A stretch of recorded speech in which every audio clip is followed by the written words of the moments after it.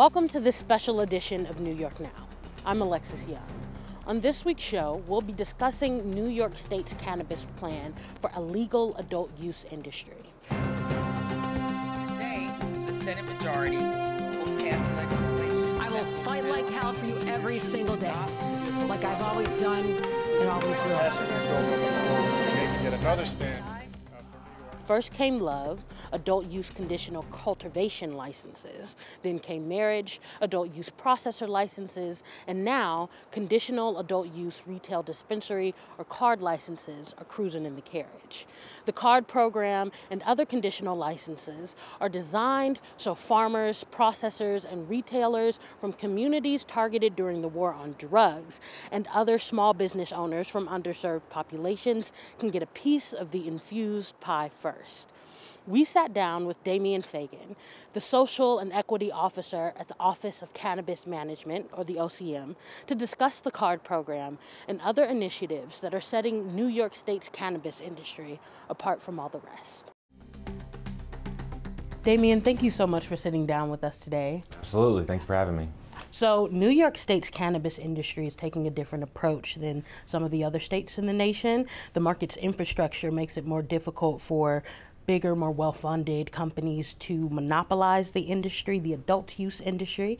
Can you explain the characteristics of the market infrastructure that makes it possible to bar these monopolies? If the infrastructure isn't benefiting these bigger companies, who is it benefiting? Yeah, absolutely. So, you know, we took a lot of inspiration from our alcohol industry.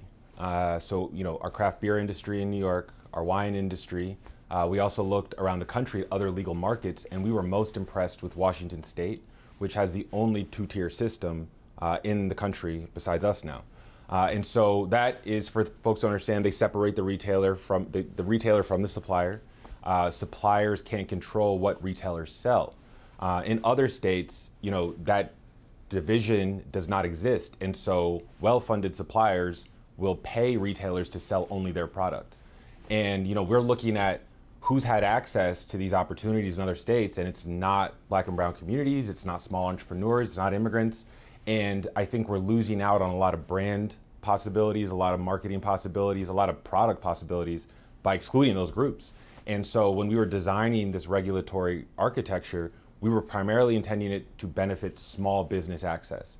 So if you want to start a mom and pop, if you've got a brand idea, if you've got some innovation in the cannabis space and you want to give it a shot, you don't need $10 million. You might need $50,000. You might need 100,000.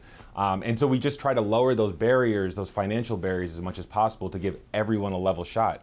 Um, on top of that, you know, two-tier restriction, there's a horizontal restriction. You can't own multiple licenses. Uh, in other states, you know, you can just start throwing your dispensaries all over the state and consolidate it overnight. Uh, what we what we did is, you know, we limited the amount you can expand horizontally across your tier uh, to allow for a lot of different players um, access to the market. And so we're going to see thousands of businesses operating uh, interdependently across the supply chain in York. So not only is the market set up to incubate these small businesses, like you were just explaining, um, but the Seeding Opportunity Initiative, in my, from my understanding, um, will help meet um, some of the equity and justice goals from the Marijuana Regulation and Taxation Act. Mm. Can you talk about what those goals and initiatives are, and how the two-tier market supports those initiatives and goals? Yeah. Uh, so the, the goal, uh, you know, the guiding light of the MRTA is putting those most harmed by cannabis prohibition first and foremost, and ensuring that 50% of the licenses uh, that we you know give out over the next few years uh, go to minority and women-owned businesses, service disabled veterans, distressed farmers, uh, and so the Seeding Opportunity Initiative captured a lot of those groups in this first year in this conditional program. You know, a lot of distressed farms upstate, and then obviously you know our conditional adult use retail dispensary uh, you know license, which is uh, for those individuals who had uh, marijuana related convictions. And so we started our industry with family farms and, and those folks to, to, to, do retail first um, because it's the right thing to do. Um, it also puts uh, you know the consumer first because you know this allows for a lot of participation in the industry uh, to create something that's uniquely New York. Uh, I think that you know when we when we look at other cannabis industries, New York is too special to just replicate what's been done in other states uh, we have to put our own spin on this. We have to put our own culture into this. And by prioritizing those family farms upstate and, and those folks in the city um, who, who, who had those setbacks uh, with cannabis prohibition, you know, we're doing that. And so, you know, I think having the industry start with them is a, a is a huge, you know, um, ethical, moral win. It honors the MRTA, but they also get the first shot, the first mover's advantage in the market. So where, where, where they put their dispensaries up, where they set their brands up, um, they'll have that advantage over uh, other competitors that are going to be entering our market soon.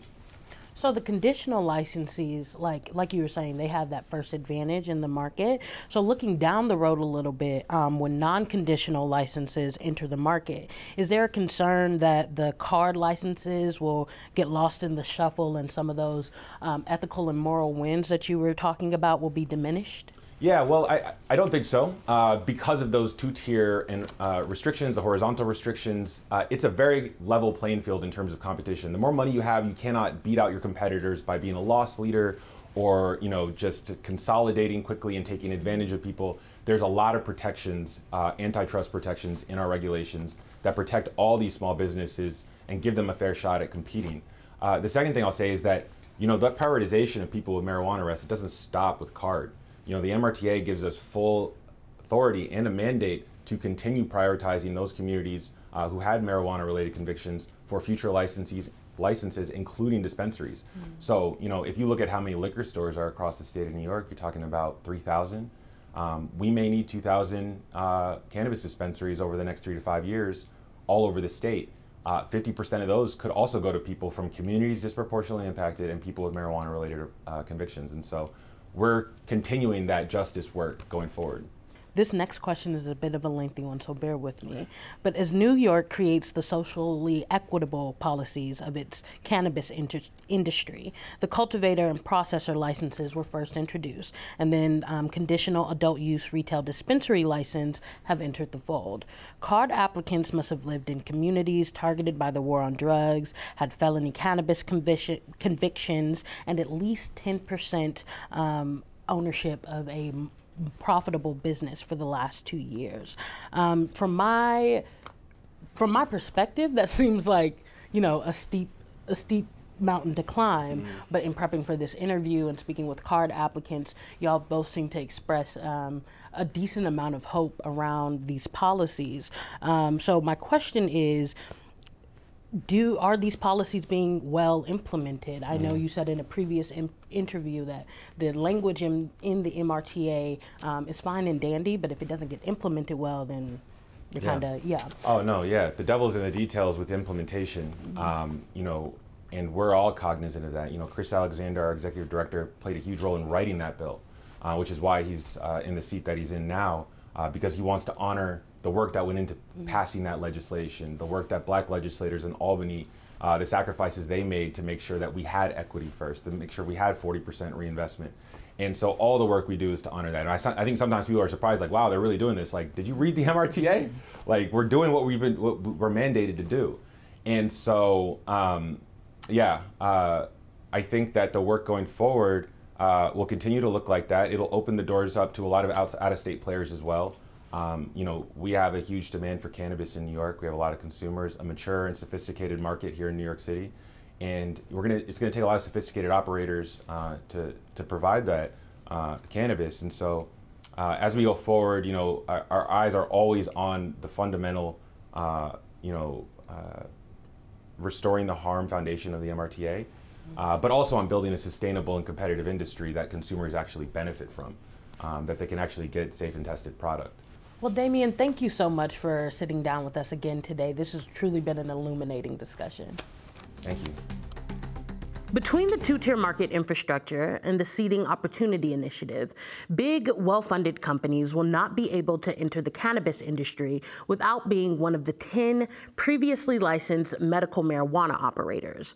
But according to SAM, Smarter Approaches to Marijuana, OCM's equity and anti monopoly policies might not be enough to prevent big cannabis or an industry that can become as predatory and powerful as big pharma or big tobacco.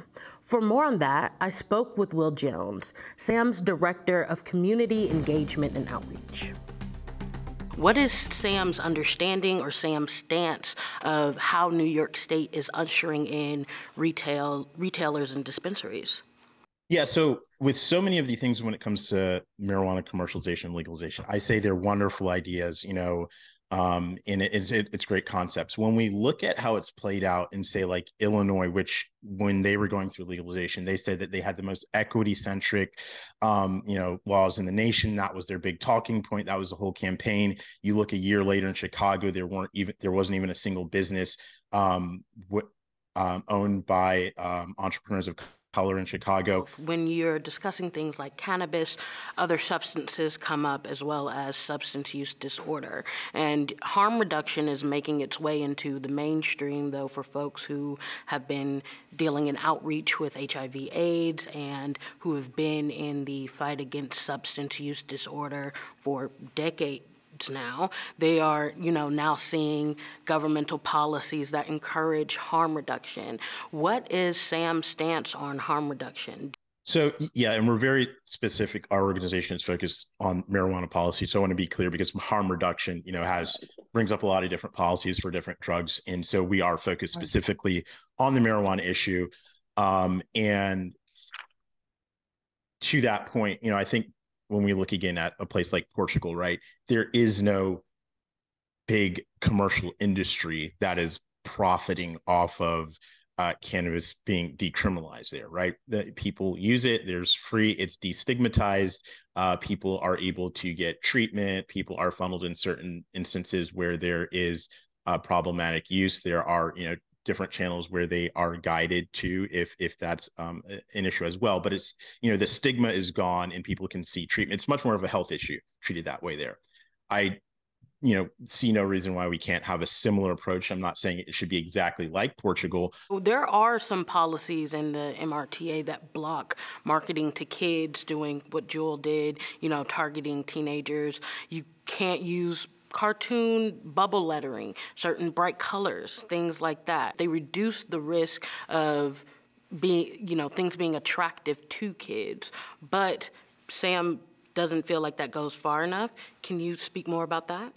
So we actually have worked and are working in states where legalization has happened to for the exact same thing. We're actually working on the federal level to introduce um, stiffer penalties for businesses that have things that are attractive to kids. The reality is though once it's legal, it's it's always going to be a back and forth battle and you've got billions of dollars on one side and then you've got public health in you know local people working in their community and prevention on the other side and so it, it's like it, it sounds great but then when we look at how this is played out in every other thing talk about the lottery talk about Juul talk about opioids you know we see it unfortunately that public health gets the short end of the stick our perspective is not to control what an individual does and we're we're very big on this at sam. It's not to say you can or can't use cannabis as an individual but we will say business no we do not think that you guys should be selling it. And to us that's two different categories. Well thanks again so much will. I've really enjoyed speaking with you today.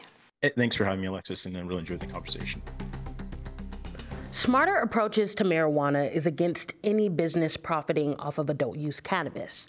Yet the literal mom and pop owners of Claudine Field Apothecary, Jasmine Burham and King Aswad, returned to the land and their agricultural roots before they were interested in growing hemp. But after New York State charted a pathway for farmers or cultivators' involvement in a legalized cannabis industry, they prepared to add the cash crop to their Claudine fields. Welcome to Claudine Field Apothecary here in the Berkshires, and uh, welcome to our space. Where King Aswad and Jasmine Burham processed this year's cannabis harvest. They were awarded their adult use cultivator and a processor license in May, just seven years after leaving Bed-Stuy to return to their homesteading herbalist roots. After growing their own food and raising honeybees, the couple branched out to hemp, through New York State's Industrial Carbon Sequestration and Regenerative Agriculture Research Program, making them eligible for the Seeding Opportunity Initiative three years later. We're coming from a very grassroots, community centered, wellness focused perspective.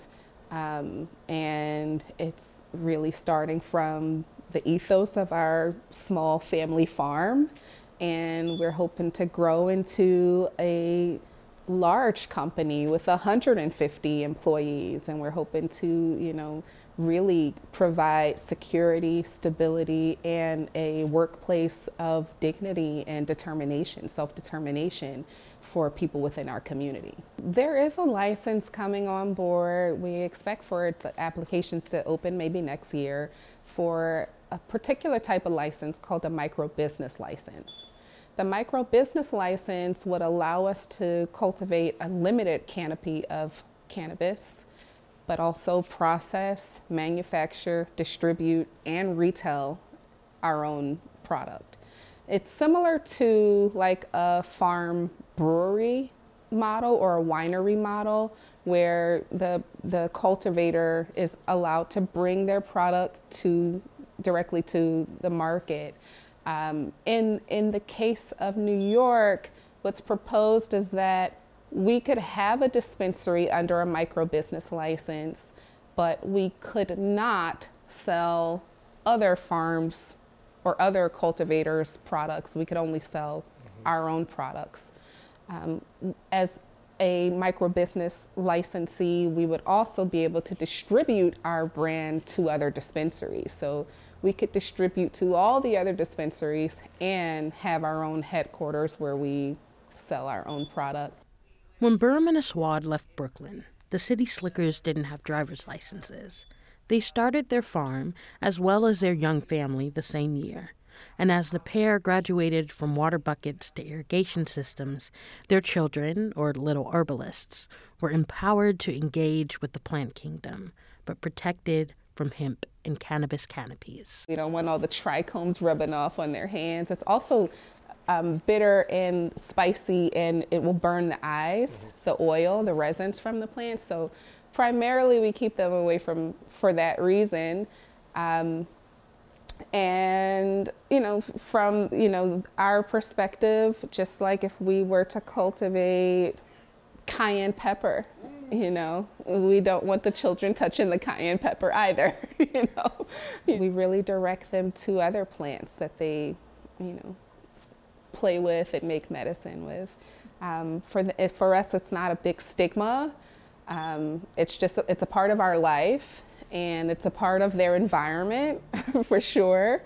Um, and we really try not to weigh it down with extra stigma we don't really want to make them more curious about it. I wouldn't leave a bottle of Robitussin within reach of my child. I wouldn't leave a, a tray of cannabis within reach of my child either. We need to know our plants more, and that's the era that we need to be moving back into. So I, I support anyone who wants to educate their children. I, you know, I like Jasmine said, we all the time when when the children ask, "What is that, Daddy?" It's a plant, right? I start with that. And then I can start talking about the qualities of it. And my daughter asked the difference between the plants that we're growing now and the, diff- and the plants that we were growing before. And I think my answer was uh, this one has to have more security around it. more people want this one for the recreational purpose. More people want to play around with it um, versus CBD. Claudine Field Apothecary's commitment to their family and community based grassroots align with some of the benefits of the Seeding Opportunity Initiative that claims to be the first statewide cannabis industry policy, with infrastructure supporting BIPOC, women, veteran, and legacy market owned entrepreneurship, endeavoring to rectify injustices during the war on drugs. Yet Burham and Aswad only know one other black owned farm awarded an adult use cultivator's license. The cannabis cultivators wanted to see more of themselves in the industry and created the Institute of Afrofuturist Ecology. To Burham and Aswad, people who were directly impacted by the war on drugs yeah, need to, to come and feel this energy, yep. need to come and feel this freedom, need to come and see, you know, and, and recognize that this is a moment, you know. We have a long history of um, challenges and with cash crops, you know, exploitation and extraction. And um, this is a cash crop. You know, for us as farmers, we will always grow food. We are committed to growing food for our community. We will always grow food. We will always grow medicinal herbs. We will not abandon that to and and and, and, and replace all of the vegetables in our farm with cannabis. No monocropping. No, we don't believe in monocropping. I think farming is the new hip hop. And I think that it, it is a new movement that's happening, and it is time for our people to get back to the land and get back to ourselves with our hands in the soil. In the meantime, Jasmine Burham and King Aswad will keep spending most of their lives living in a grower's paradise. While Jasmine Burham and King Aswad benefited from social equity licensee programs, the Cannabis Workforce Initiative is working to help broaden that social equity status beyond licensees to folks applying to the jobs the adult use cannabis industry will create. The Marijuana Taxation and Regulation Act has set a goal that would mean half of the licenses for retail dispensaries would be held by social and economic equity applicants, folks who've been impacted by the war on drugs. The Cannabis Workforce Initiative is a collaboration born from the Work Development Institute and Cornell's School of Industrial and Labor Relations. The mission is to fill New York State's adult use cannabis industry workforce with social equity hires as well. Program Manager Sarah Edwards and Project Manager David Serrano feel that learning opportunities provided by CWI will result in certified employees who will create an equitable, sophisticated workforce while inspiring generational wealth. There are a number of modules that we're deploying uh, each module covers a very specific area of the industry supply chain, as well as the ancillary industry. Uh, and the, the goal is to give folks an idea of what are all of these careers, what are all of these jobs, what are people wearing, what are they doing, what are they, you know, what do they do before they come to work to get ready for the day. And, and so, you know, we, we're covering, you know, direct supply chain jobs. To create some general, excuse me, generational wealth, you need these jobs to be good jobs. They need to be good paying jobs. People need to um, be in, you know, diverse and inclusive um, workplaces. Increasing awareness around the existence of these jobs in the first place, as well as rights these employees are entitled to and what employers are required to do, is only a portion of their goals. Some of the others include making sure program participants know that. MRTA mandates um, an automatic sponge, expungement of um, a large number of uh, cannabis related charges. Um, but people don't know that it's happening. They don't know what they need to do to confirm. They don't they're not notified that it's happened. They don't know what it means in terms of applying for a job. So we want to make sure that people are kind of armed with that knowledge to like know how to go about getting it done and know you know what what it means for their you know job applications. If you've lived in a community targeted by cannabis prohibition entered the legacy market or you've been incarcerated for participating in the legacy market cwi's website is cannabisworkforce.org. there's a form on there. You know, they can put their name and they, there, you know, there's a request types, and if they're an employer looking for assistance, there's a request type just for them, and you know, we're we're happy to take all of the inquiries we can get. As their project manager said, the Cannabis Workforce Initiative is helping usher equity in every level of the workplace. Here's Damian Fagon again on where he hopes a focus on equity and innovation will take New York State's cannabis industry. Okay, so Damian, looking maybe three years, five years into the um, implementation and rollout to when consumers in across New York State can actually get their hands on um, adult use marijuana. Uh, what do you see for the industry? I see, uh, you know, an example that the rest of the country could follow. Um, I see a dynamic, thriving, uh, competitive landscape uh, that is diverse and representative of the communities that they operate in. Um, and, and, and then they're going to be doing things with cannabis that haven't been done in other states. You know, we have a lot of innovations to come in terms of on-site consumption. We want licenses for events, for movies, for museums. Um, we want really innovative ways, um, new ways for consumers to interact with this incredible plant. And we also want the stories of those people who are most harmed by prohibition and those communities that have largely been left out uh, and, and, not been represented in the cannabis industry in other states to have their voice. And so you're gonna you're gonna come to New York City, you're gonna go to Albany, you're gonna Syracuse, you're gonna see products, businesses uh, that you've never seen before in the cannabis space. Um, and I think it's really going to be um, a remarkable thing for the rest of the world and the rest of the country to, to see, uh, you know, what we build and to take inspiration from it. You know, I do want to see the stuff that we're doing here implemented in London and, and Berlin and, you know, in Latin America. I think that there's so much potential for this industry to not be extractive and exploitative and, and, and, and harmful in ways that other industries have been. And I think that if you just empower regulators, you know, who actually care about this plant, care about this industry, care about people, um, you know, the policies and regulations that are going to come out of that work are going to create a much more viable, you know, sustainable industry. And so, yeah, I, you know, I want a cannabis industry that is as incredible as this state is, that looks like this state, and uh, that's that's what I really hope to see in three to five years. Understood. Thank you so much. Thank you. As the industry continues to roll out, we'll continue to cover cannabis in New York State. But in any case, this has been New York Now. Have a great week and be well.